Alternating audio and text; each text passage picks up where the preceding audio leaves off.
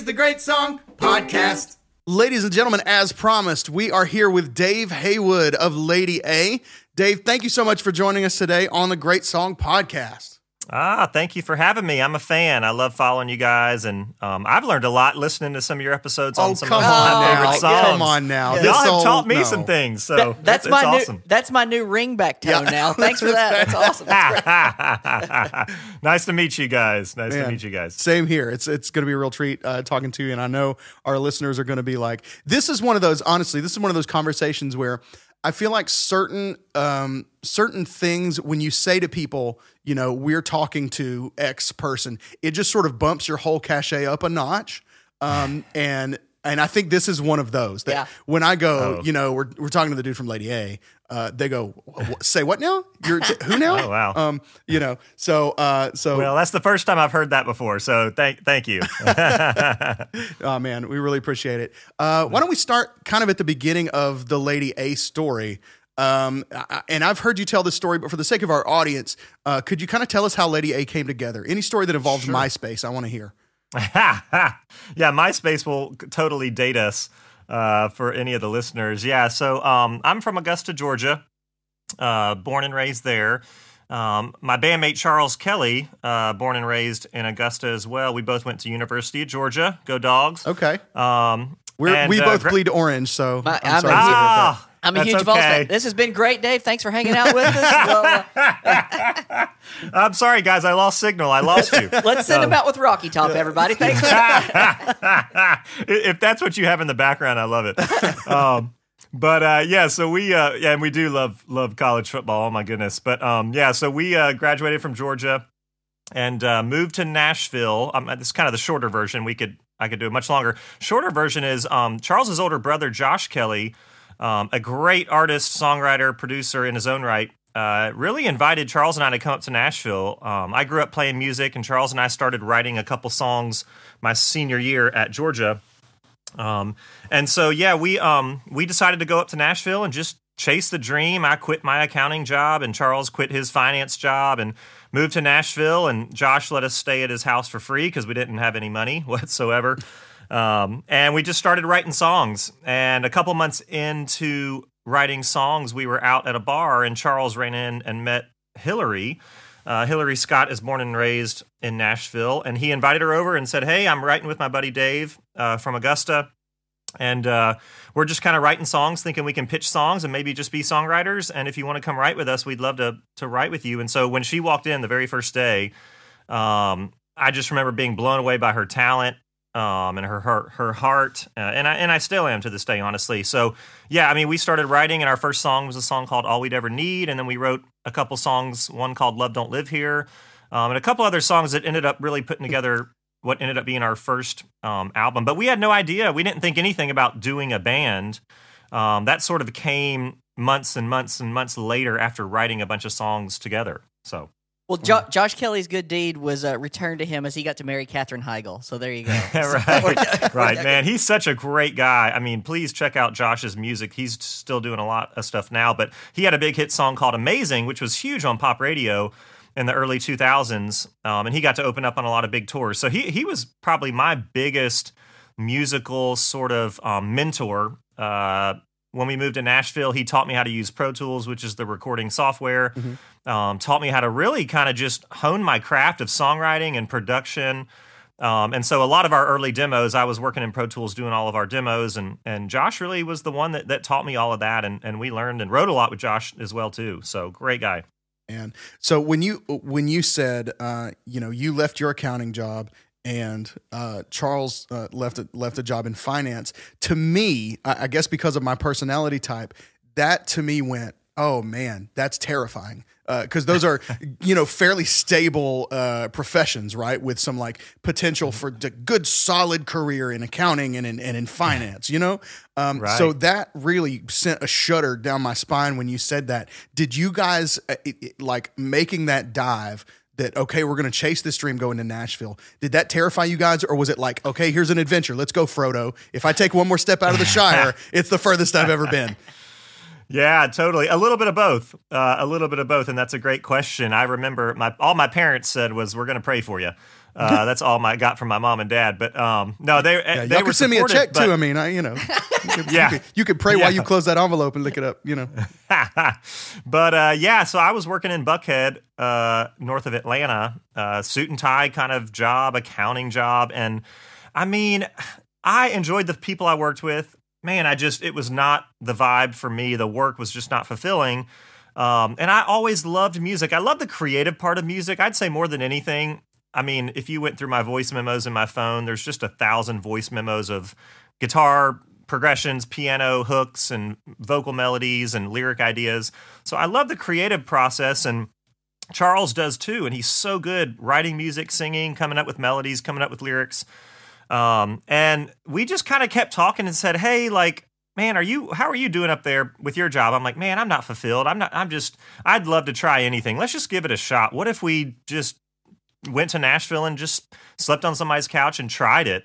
Um, and so literally, I mean, I cashed in my 401k, which is a terrible tax idea. um, uh, you know, after having a 401k for two years, it's really not the time to cash that thing in. And uh, ended up losing half of it, but I had a couple thousand dollars to go to Nashville and lost that in the first few months of eating eating out and going to Starbucks. Right. And uh, and then we were just writing songs every day. But yeah, it was it, it was a bit scary, but it was also you know I'm 20, I was 23 years old.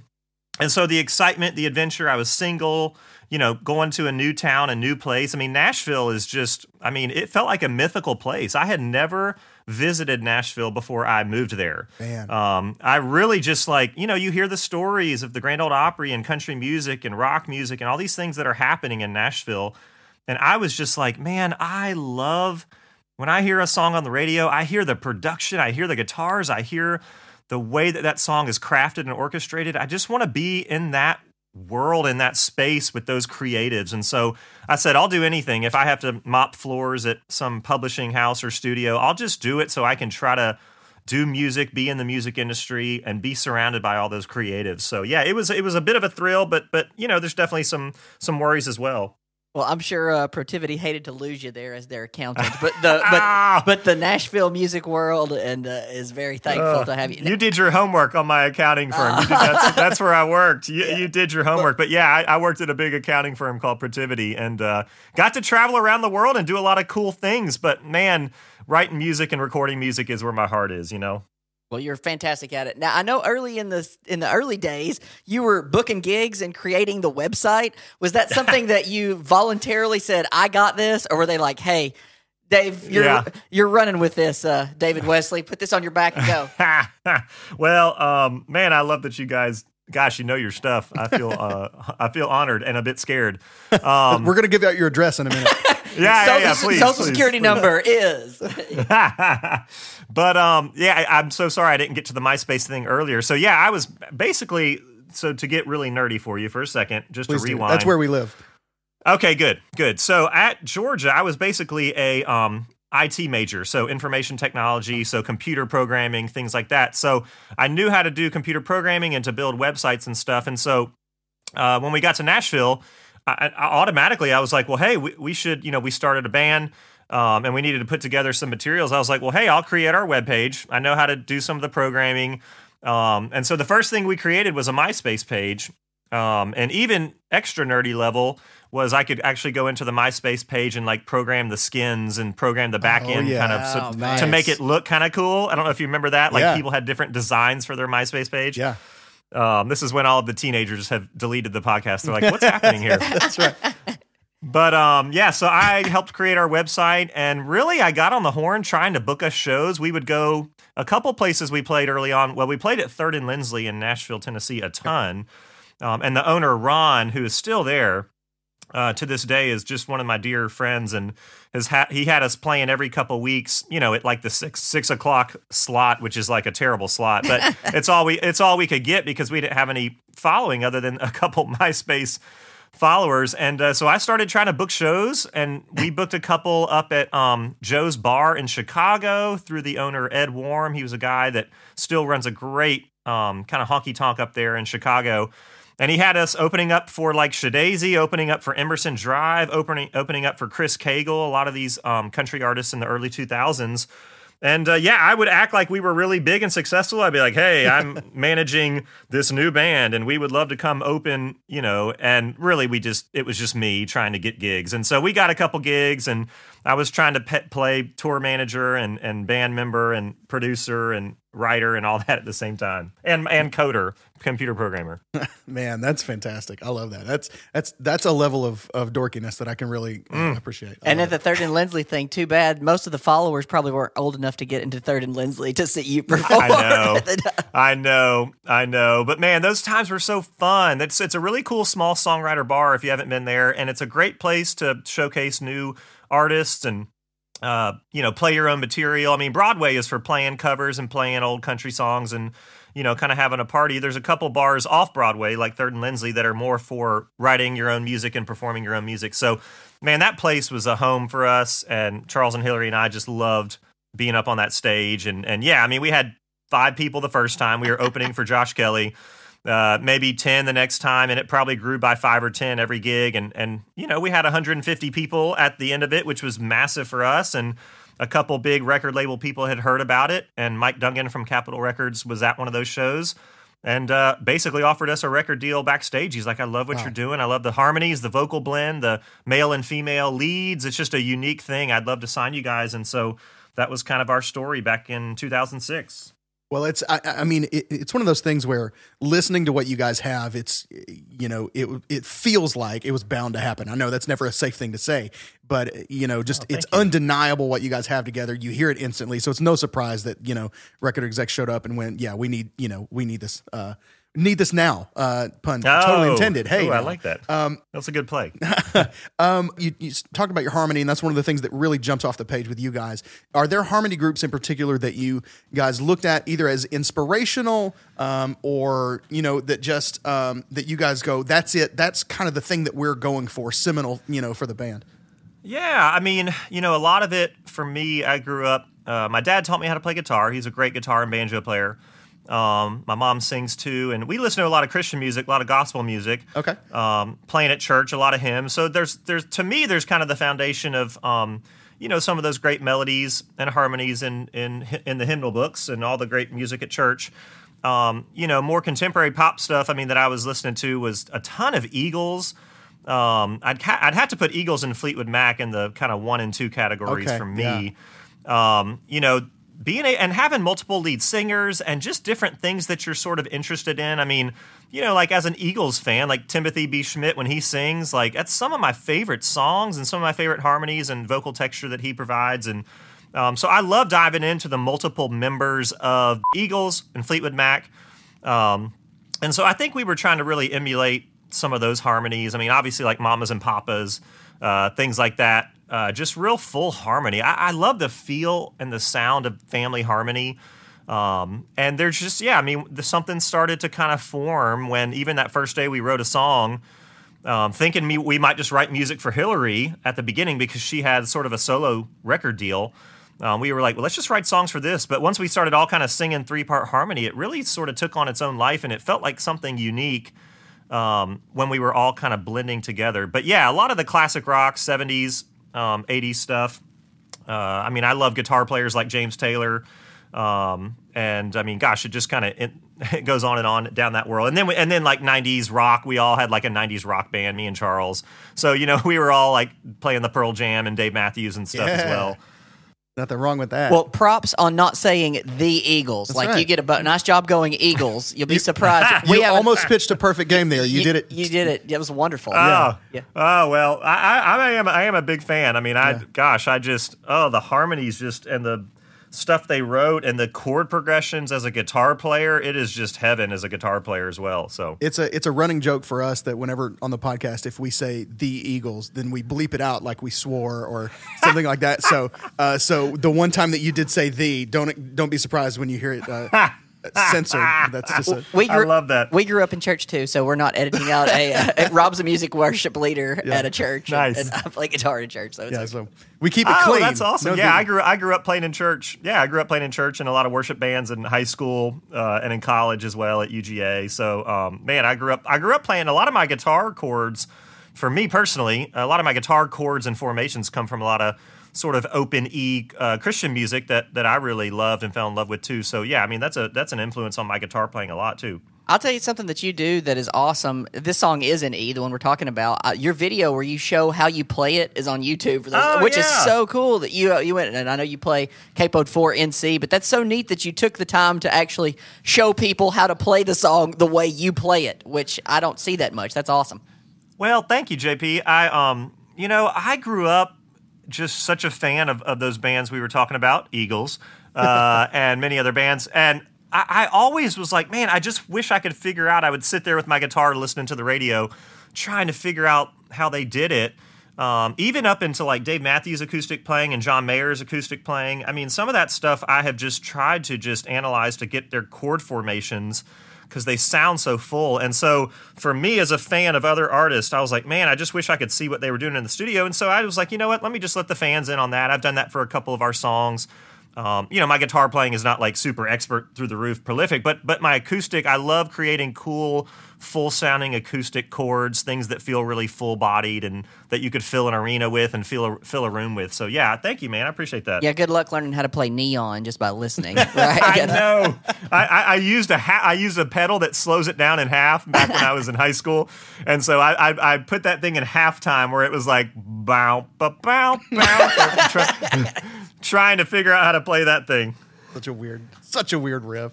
Um, Yeah. So uh, initially, y- you know, you moved to Nashville. You and Charles moved to Nashville, and you hook up with with um, Hillary, and you, and you form this thing that becomes Lady A. But initially, as a songwriter, you know, you're trying to write things for the band that are good enough to make the album and be the singles. You're trying to write for other artists, you know, stuff that's good enough to make their albums and be singles. But then, as an artist, you reach a spot where people are dying to get something of theirs in your hands. You know, if I could just get this song in front of Lady A, what's that transition like? How do you guys handle it? You know, taking submissions or or even outside co-writing opportunities for Lady A. Man, that's a uh, excellent question. I've never had that question. I mean, our first album was pretty much all material that that we wrote. Um, there was one song, I believe, that was an outside song. But early on in our career, we we signed a publishing deal with Warner Chappell, um, and so they were kind of in charge of our publishing, trying to pitch a couple songs that we didn't write to other artists as well. Um, but yeah, I mean, people after our first record, um, you know, and again, the very first record that people say you have your life to make it. I mean, we we had you know a year and a half because we had just met each other and Right. it was all new material we were writing uh, at that point in time. So the the first record was really just completely all stuff that we wrote, the three of us, maybe with a couple more extra writers like Victoria Shaw um, and a couple other folks uh, Tom Douglas, stuff like that. But I mean, Love Don't Live Here is like straight up the three of us. That was just like our pure heart, who we are as Lady A. So, but yeah, once we got to our second record, as we were putting that together, the Need You Now album, you know, songs like I would say American Honey is a really good example. We did not write American Honey, and that one came through and just had a authentic and organic feel to it. And so, yeah, I mean, when when, when it's a great song, it's a great song. I mean, I think you know the James Taylor, Carole King kind of world of like the way they would write songs for each other and had so many outside cuts too. I mean, if it's a great song, just forget who wrote it. Let's just cut it, record it, and get it out there. And and, and American Honey was one of those that comes to mind from that record. And you know, at, at that point in time, you feel some ownership in wanting to write everything.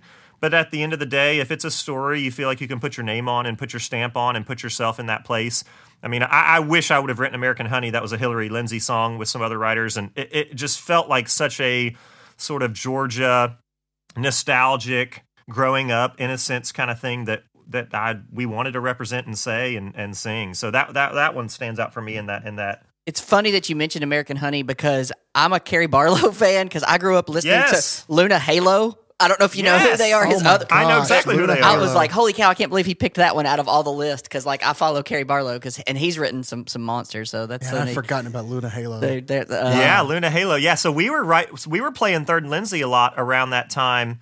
Um, Jeremy Lister and like Luna Halo and like some of these bands and stuff. Um, Safety Suit was this yeah. rock band. Goodness Wow. gracious! and Oh, they were like we were playing a- the same kind of bars at the same time as them and um, yeah man I, I, all those great memories of us kind of coming up i feel like around the same time in nashville yeah Well, you definitely uh, there's parts of these interviews where we just blast on things that we love, like, and I could do this with you guys forever because you got hits like you know, I run to you, need you now, we on the night, long stretch of love, all which you were part co-write on. But I think my favorite video from you guys is looking for a good time. I think it's hysterical when the mechanic puts his hand on your suit. Now, do you play the solo live? You play it on the video. Do you play the guitar solo live? On that I. I play it live. So yeah, on our records, um, I mean, we've had some fantastic electric players. Paul Worley, our producer for our first, gosh, five, six, seven records. Paul Worley played that guitar solo on the album Okay. for Looking for a Good Time. okay. Um, and I play it live. That one's a simpler solo I, I can pull off. I'm not a profi- like totally like expert level electric player, uh, but I can pull off Oh, some you of the got good solos live. Yeah, you got- Well, you know, I'm kind of right there in that middle average tier, but um, I leave the really expert stuff to our backing band guys. We have a guy named Slim and a guy named Clint, and they are like, oh my god, just shredders. So I let them kind of take those real, the real big ones. But that one's fun. Yeah, I played that one live um, to this day, and you know, it's funny you brought that song up, JP, because I still have moments where I'm like, did people like that one? Because that's Absolutely. the one. It, it felt really fun at the time, but when we play it today, I'm like, do people still like it? But every night when we get out there and I'm like, na na na na na na na na na. I mean, it's literally like G to C. It's like two chords, and you know, it's one of those songs. Like from a guitar standpoint, I'm like, this is so basic, but I know people love the feel of it because And, they can um, say, "Hey, I covered this song. Like I covered this one. My band covers this Lady A song because anybody because it's playable. So it's good. Oh well, thank you, thank you, man, and and yeah, I appreciate that. I mean, I on, on our records, um, I dig in really deep in the acoustic guitar and mandolin world, um, but it's a fun process. We had so many great years with Paul Worley, and I mean, I could talk for days about his process, and maybe we'll get to that too. But it, it really just an honor to work with so many great instrumentalists in Nashville. I have one follow up video question, and then I'll, I'll kick uh, the the "You Look Good" video, which was recorded in Puerto Rico, is pretty cool. What's your favorite video shoot location? Like someplace that you were like, "This was fun." Obviously, the the Puerto Rico one looks fun, and the "You Look Good." But what what is your favorite location that you've got to go to? Man, that's a great great question. Gosh, y'all have good questions, really Hey, good thanks. questions. Oh, thanks. We do our and best. I, li- uh, thank you. Well, and you know, I um, gosh, I think this is my third podcast of my my career. I haven't done many podcasts, so Oh, you're doing fantastic. It's really, uh, well, it's really fun to do the long form thing where you guys just give a chance to really just dig in and talk about stuff. Most of the stuff we do in radio is like sixty seconds. Here they are, Right. and you just don't have a chance to to really walk through the nuance of it. So. Thanks for thanks for giving a platform for that. I mean, I, I really enjoyed that video in Puerto Rico. Um, that would probably be the most fun because we got to go down there for like two or two or three days. Normally, you shoot in Nashville either in like a sound stage, um, like the "You Look Good" video. Uh, excuse me, "You Look Good," looking for a good time. Very Yeah. similar title. Um, looking for a good time back in like 07, 08. Um, we just shot in Nashville, and it was kind of the old Ed Sullivan Show throwback. Yep. Um, kind of wardrobe and stuff. So that was like on a soundstage. Um, and like you know, we own the night. I love that video a lot. It was just downtown Nashville, but I, we were like on this rooftop down by the river in Nashville. Um, Bartender was a really fun one. We shot that out in Los Angeles. Um, and oh, you know what? I, you know what I'll tell you. I think the most fun was probably downtown. Charles and I were dressed up as police officers, cool, and yeah. Hillary was like bashing in our car. That's cool. Um, Yeah, that was and it was just a fun day. Beth Behrs, uh, the actress, was in that video as well, and so she was hilarious, and she was on set all day, and we were laughing, getting to know her. But um, downtown might be the most fun. Puerto Rico has to be the, the best location for for you. Look good though. I love love being down there. It was really cool. Excellent. Tell us a little bit about your experience on Songland. Uh, I'm I'm really fascinated by this. You guys were in the the season two uh, premiere of Songland. Um, what it's it first of all, brilliant idea. The concept of that show, as somebody who loves music and loves songwriting, you know, it's just brilliant on every side, and it seems to be like a really well thought out idea. From the from Yeah. the artist side coming in, what was it like?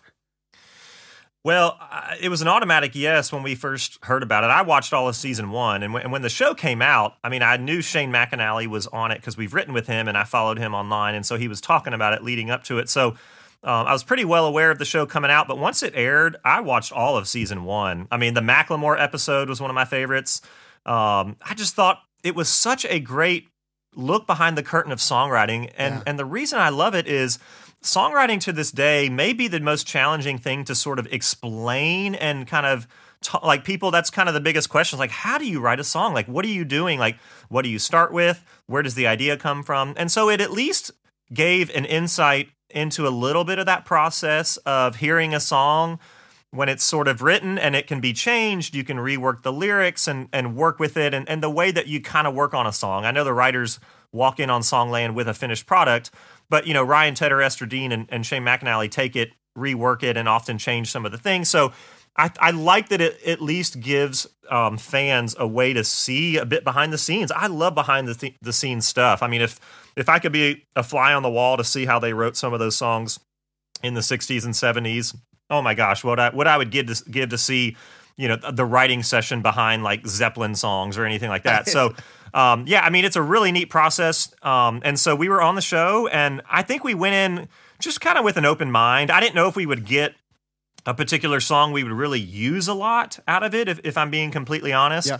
Um, you know, I didn't know if it, we would really get something that would be like a tried and true something in the Lady A catalog.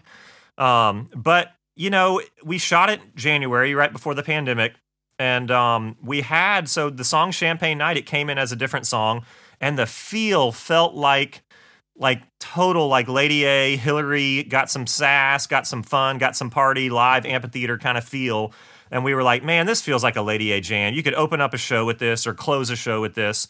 And so we worked on it, and Shane McAnally helped tweak some of the lyrics. Um, and we all pitched in a little bit, but really it was Madeline Merlo, the songwriter, that had that song, uh, Champagne Night. And so it felt like a jammer, and we wanted to put it out as a single because we were like, we got a big tour coming. Uh, let's get it out there for a big summer jam.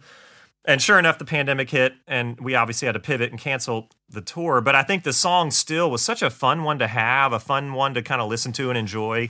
And it, I think it's going to be one of those staples when we head back out on the road, hopefully at the end of this year or later this year. Um, you know, I think it will be one of those songs you can open a show with or, or close a show with. So it feels like a really fun one. I mean, we have some fun songs that give Hillary kind of a front and center moment, like Downtown and Bartender. Um, and I love I love when she can kind of get sassy and have a good time. And so Champagne Night's one of those as well. You could see what you know watching the episode. You could see in everybody's body language that that was going to be the one. It, that's what it looked like to me. Yeah. Early. Now, now I you know I knew it going in that that was going to be the one. So maybe I read that into it. But I remember this story about Michael Jackson being in the studio during the during the bad sessions, um, and they were trying to decide between two songs to make the album. Uh, it was and it was between uh, Street Walking and um, oh gosh, what's it called? Another part of me. Just an, you know, just another yeah. part of Yeah. me. And Michael wanted Street Walking.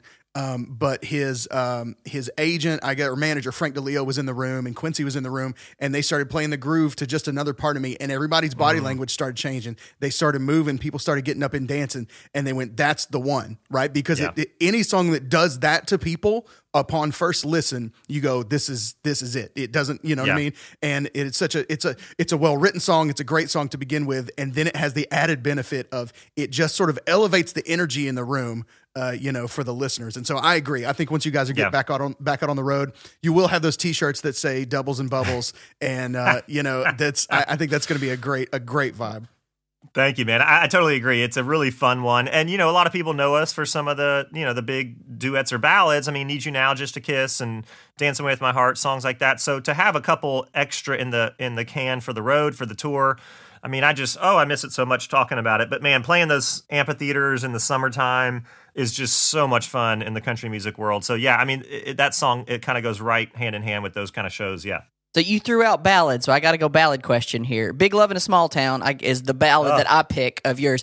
Thunderbirds and Pontiac Wild. Do you? What was your first car? First car. Oh, yeah. My, my first car was not as sexy as a Thunderbird. I had a Honda Civic.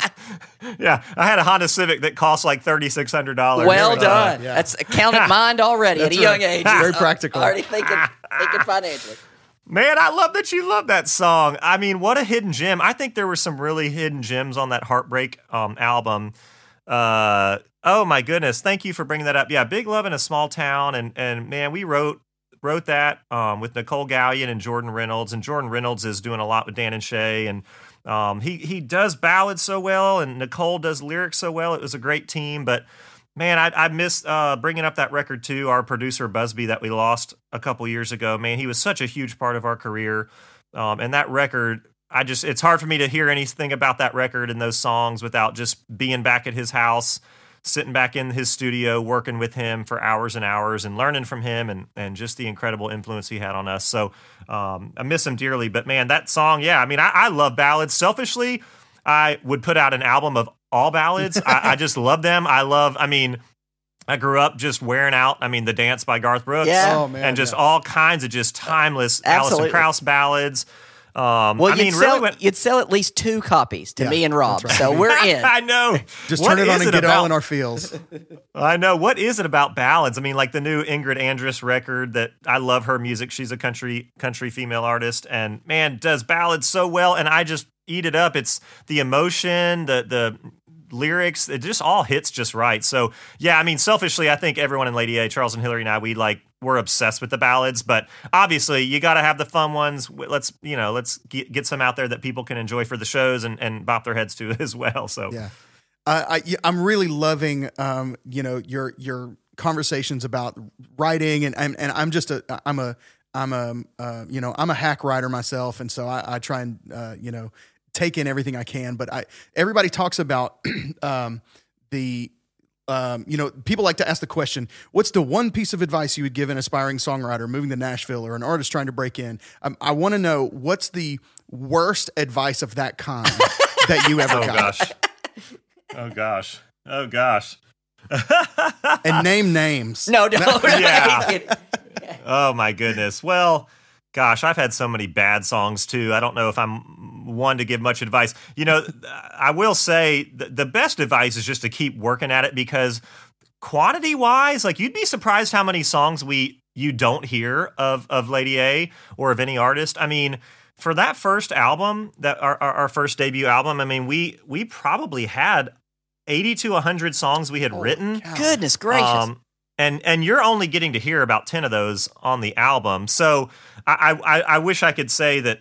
I mean, I, I, the best advice is really to st- stay at it. Our advice was to try to write a song every day. Um, gosh, bad advice. I'm trying to think if I had any bad advice. Um, I mean, I don't know. I've I've, I've I don't know, but I mean, stick sticking with it and trying to just keep writing and honing your craft. Um, trying to, I mean, we tried to commit to writing one song every day uh, when we moved to Nashville, and you know, it, it, you took a lot of bad songs. I mean, there's just really, really some bad songs that like don't make any sense, and none of the lyrics tie together, and none of the melodies really repeat. You know. Um, but yeah, after a while, you kind of sort of hone your craft a little bit and sort of understand kind of what you know what we do as a trio and what we wanted to put out there. So, but man, yeah, we, we will never make an album of the 90 songs that you don't want to hear from the from the record. What's your if you're in a if you're in a co-write situation? Uh, what's your method for telling somebody in a nice way, dude? That chorus sucks. Because you're like the nicest guy. We're like, give us some uh, some worst advice. You're like, I don't have anything. You're just so positive. Yeah, my, I think my go-to phrase is, um, you know, nobody's doing that right now. You know, nobody's doing this. yes, that's it. Oh, that's the line. Oh, like if it's like a you know you, you someone plays like a really weird off the wall chord that feels terrible. I'm, you know, nobody's really doing that right now. now, now wait you a minute. He started this with, "Hey, I like what you guys are doing. Nobody's really doing this right now." Subtly, he's like, "Now wait a minute. Are you? That's fine. Yeah, you, yeah, yeah. I, I may be. I'm guilty of being passive aggressive. That's just my personality. That's type. awesome. But, yeah, That's wonderful." How do you know when you're in a session? How, how do you make that decision? I need to speak up about this, or or I wonder if I let this go, if it'll fix itself eventually. Surely they'll realize this is terrible.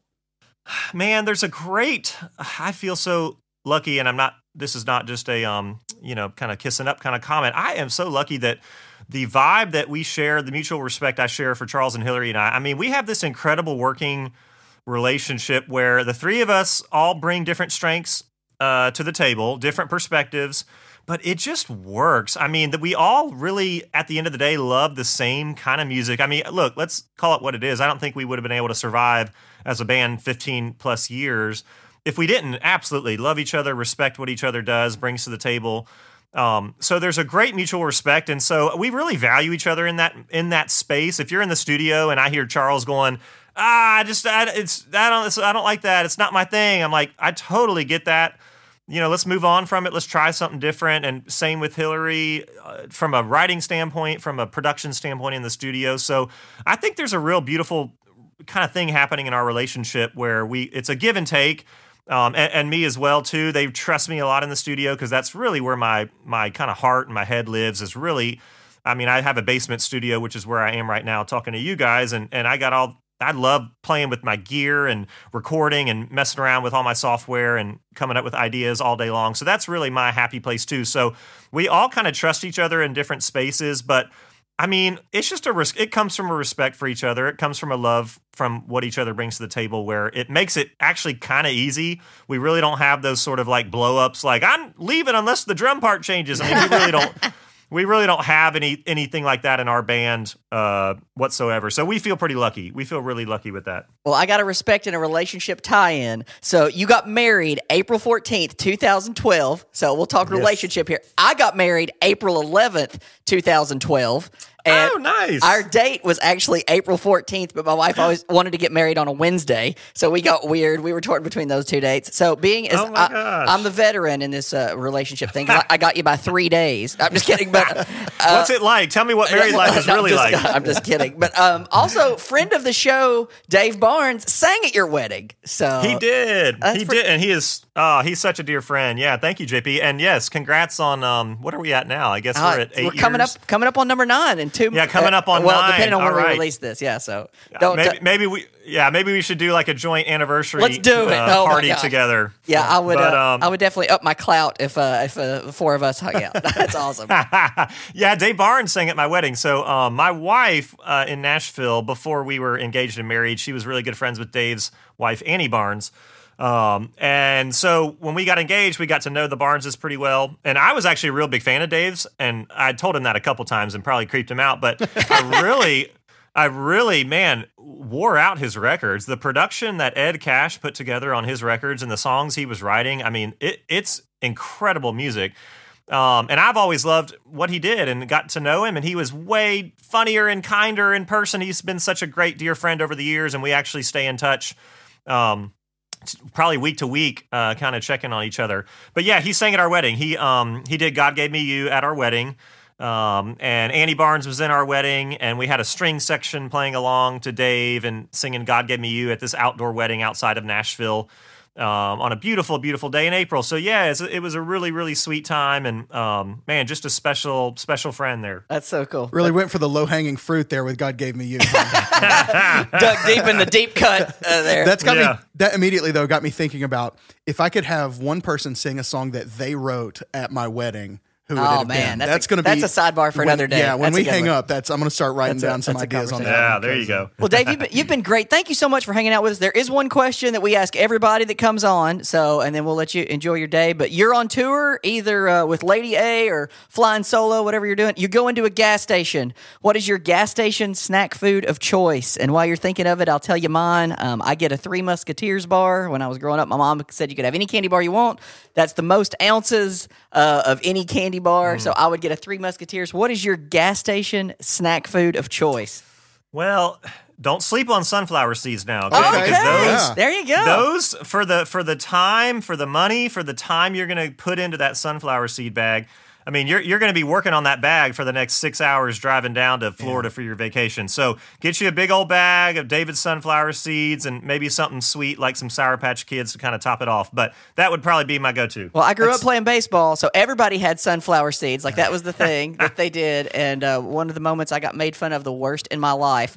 Um, I just finished sliding into second, came back in. I'm filthy, and uh, I wanted some sunflower seeds. And I was like, "Hey, coach," I was like, "Just drop the bag, you know, just just drop some in my mouth." He's like, "I'm not putting sunflower seeds in your mouth." He's like, "You can get a little dirty in there." So, uh, so good call on the sunflower seeds. That's another That's one. just, that's very practical. Again, I, we practical, go back to yeah. it. It's Practicality. That's it right. really is. It's about the value over time. You know, It They can is. last. Think about it. Eat Yeah. one a Well, I mean, mile, drag it out. yeah. you amortize those bang for your sunflower seeds. I mean, that's That's good. wow, fantastic, love it, uh, man. Thanks so much for joining us. This has been a blast, um, and thanks to Dave Barnes who actually he, he you know hooked us up uh, together. We always love him, and he's been a a tremendous friend of the show since uh, since he's been on with us.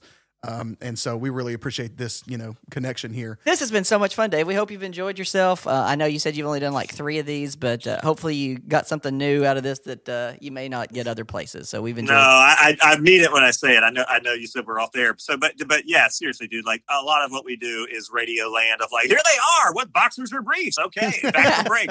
You know, so to, to talk about the music and the videos and stuff. Thank you, man. I, it's it's it's a, it's refreshing. It's very refreshing. So thank you. That's awesome. That made our day. You made just, our yeah, day. just made our day. I have two ringback tones now that I can use. Oh, there you go. that There just made go. us. We just shared a wistful glance with each other when you said that. So uh, that's great. Thanks, Dave. Well, we'll be in touch, Yeah. man. Thank you so much.